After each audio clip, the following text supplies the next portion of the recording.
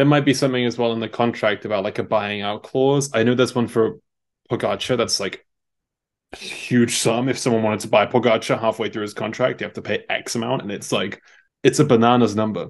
Hundred million for Sorry? Pogacar euros. That's the buyout clause. Hundred million euros buyout clause. That's not cycling numbers. That's like football. Holy moly, are you serious? Thing is about Pogacar though is that Lefevere would probably quite like a Pogacar because he does everything.